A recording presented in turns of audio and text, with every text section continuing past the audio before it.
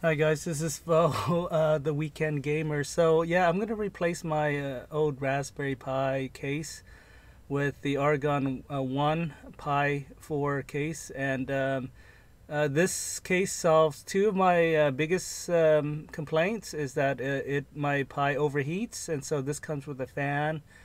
And it also comes with a, um, an on-off switch, um, eh, which after four generation of the Pi, the Pi still does not have an on-off switch, so that you're aware of this uh, if you're buying a Raspberry Pi.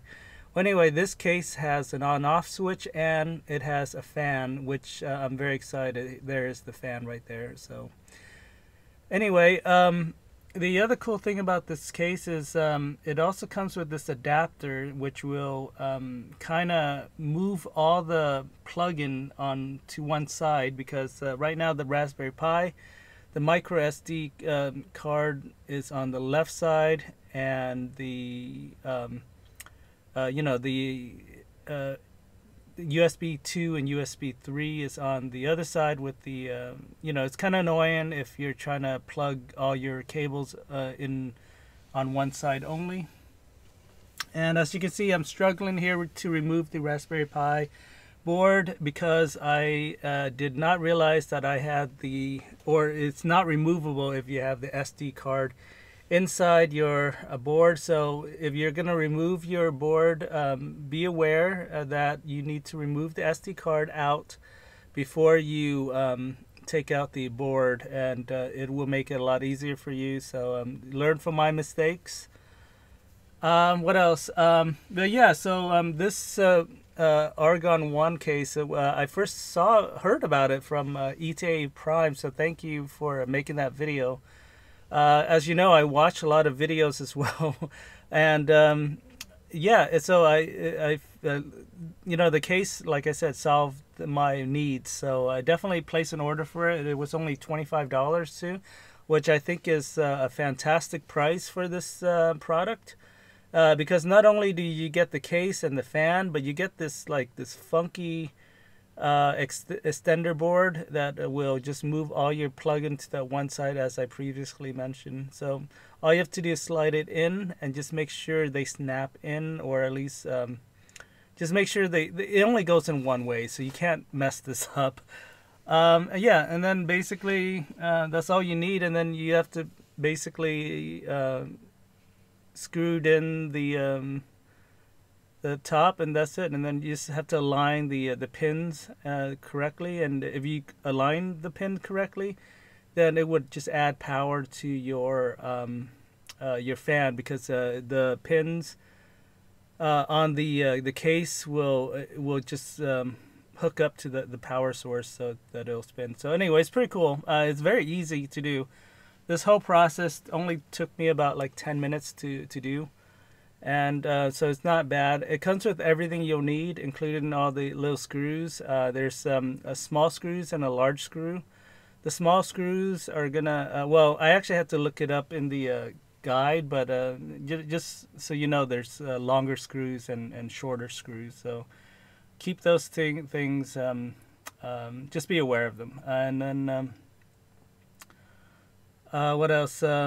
Um, it also comes with thermal uh, paste, uh, so uh, you put that over. Um, what? Well, I couldn't figure out where it was, so what I did is I just put it on top of the um, uh, the case itself. So you can locate in the case. There's two, um, you know, um, two. What's the word? Uh, just bumps. So you just put it over the bumps anyway. Uh, it also comes with rubber feet, uh, which um, you'll have to put on the bottom of the, the case. Uh, all right. Uh, so what else? Um, but yeah, so if you're gonna run your Pi uh, at any reasonable amount of work um, it's gonna heat up pretty easily as you know the, the Pi 4 is the only console that actually requires some kind of cooling thing if you're gonna put it to uh, to work I mean I think if you're web browsing I don't think you're gonna have an issue with heating but if you're playing a lot of games and stuff and um, for extended period of time. I recommend something with a fan or some kind of uh, kind of cool or cased with a coolant thing. Anyway, so what I did is uh, I put it on the the two slots here so that um, when you put the case on, it's gonna come on right over the the actual uh, items, which is uh, the CPU and I guess the over the RAM or some kind of. Uh, basically, it has two slots that uh, these thermal paste needs to go in, and you need to remove both side uh, of the sticky, so uh, so both of them needs to be kind of slightly sticky. Um, all right, what else? Um, yeah, this is the part that I actually had to look at the instruction because I wasn't actually sure on uh, what to do next, um, and uh, it's pretty simple. Uh, the there's the pictures are great. And um, oh uh, another thing you should know is in order to um, activate the um, you know download the scripts for the Argon one uh, if you're in America you need to change your keyboard layout to uh, US keyboard layout uh, and when you do that uh, you need to reboot uh, the the Pi because um, it won't take effect immediately, and uh, so I just kept trying to hit the um, the um, upper um, bash uh, or like the the uh, vertical line bash, and I couldn't do it because my keyboard was still. Uh, by default uh, in the UK setting because as you know Raspberry Pi Foundation is based in the UK so it made sense for them to put everything in a UK layout as far as the computer uh, keyboard. Um, but yeah, so you'll need to change that to uh, a US um, um, keyboard, and um, uh, you know Linux is not friendly, so um, just do a search uh, online, and you sh you should have the script.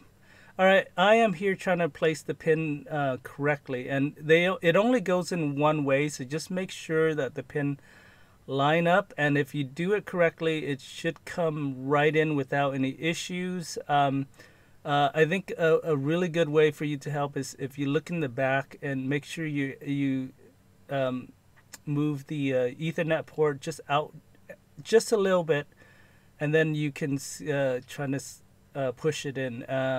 Yeah, like I said, it only goes in one way, so you can't really screw this up. Um, the pin needs to, to just go all the way in.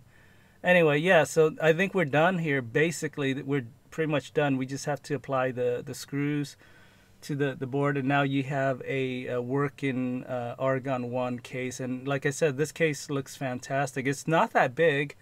Uh, and it just I think it adds a lot of functionality that uh, I've been looking for um, in for my Raspberry Pi. In fact, I like it so much I may actually end up buying another Raspberry Pi 4 and the same case and uh, you know put it together for um, a friend of mine. Uh, so. Um, yeah, I'm very excited. Um, anyway, so just follow the instruction for the screws. The small screws goes in first, and basically there's four screws. Uh, you just have to find the uh, the orientation. Well, anyway, so um, anyways, if you change your keyboard layout, like I said, uh, you need to reboot it because uh, when I changed my keyboard to US, I, I was still trying to, you know, my keyboard layout was still in the UK, and I couldn't figure out why until I rebooted the uh, the system. Once you reboot it, it should be um, you should be good to go. Um, what else? Uh, yeah, uh, I also uh, looked up uh, temperature as far as my um, uh, Raspberry Pi is running, and uh, it, normally it would run at um, less than 36 degrees. And um, once I installed the the script for the the Argon One script, it was fine. it will automatically, by default, will kick in once it hit a certain temperature. So when it um, hits like say, I don't know, like uh, 50 or 60, the fan turns up like halfway, and then uh, once the temperature hit like a, a, high, then the the fan will run at full speed. So uh, it's it's pretty good. I mean, I didn't feel like I need to uh, modify it anymore uh, based on the default. So, but you can if you want to, you know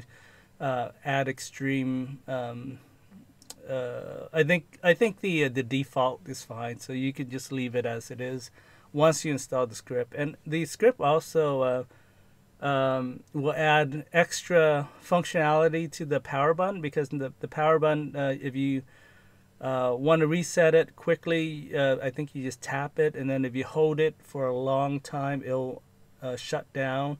that kind of thing is is all in the script, and uh, yeah, uh, everything you'll need is actually in this Argon case except for the screws. So you need to um, get a, a, tiny little screw head uh, to put it in. And um, I'm using my uh, Fallout uh, Vault Tech uh, tiny screws. Uh, screw head, Phillips screw head. Anyway, yeah. So once you add it in, you should it should be good to go. And then you just have to add the long um, uh, screws in there to to basically put down the the, the bottom, and uh, and then you'll have to add the rubber feet, and that's pretty much it. I mean, the whole thing, the whole process was only ten minutes. So uh, this is a very uh, easy to install uh, case, especially if you consider it comes with. Um, the fan and the power button, I think, uh, is well worth that twenty five bucks. imagine if you had to buy an external fan. Uh, maybe that'll cost you ten dollars, and then if you buy a, um, you know, um, an on-off switch USB C, uh, you know, that might cost you another five bucks. So, and you know, this includes both of that plus that extended um, thing and and the aluminum case on top of it. I think it's a fantastic deal. I don't know how they're they're able to make any money off of this. It's uh, I think it's, uh, it's wonderful. Um, but yeah, so um, uh, I can confirm that the the thing works and everything is working out uh, perfectly, especially after I installed that script. And um, but yeah, um, what else? Um, uh, yeah, if you're thinking of getting a case, I definitely recommend uh, the, this Argon One case. I'll um, I'll do an update if it's bad or anything. So, but as far as I'm concerned, I think it's it's working just fine right now for me anyway. So, uh, okay, thanks for watching.